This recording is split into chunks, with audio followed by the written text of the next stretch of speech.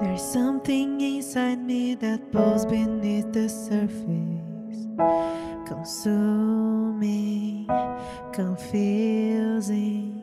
This lack of self control I fear is never ending. Controlling, I can't seem to find myself again. My walls are closing in.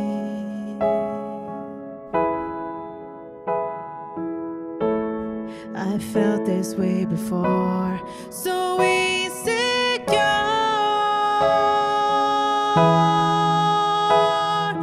crawling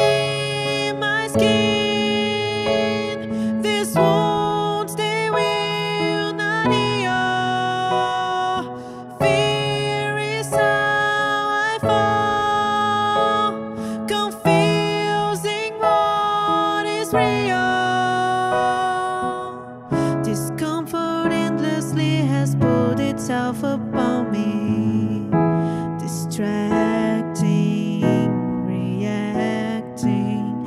Against my will, I stand beside my own reflection.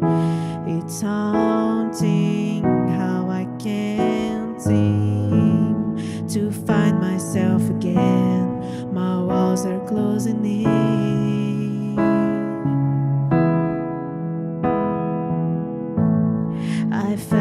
Way before, so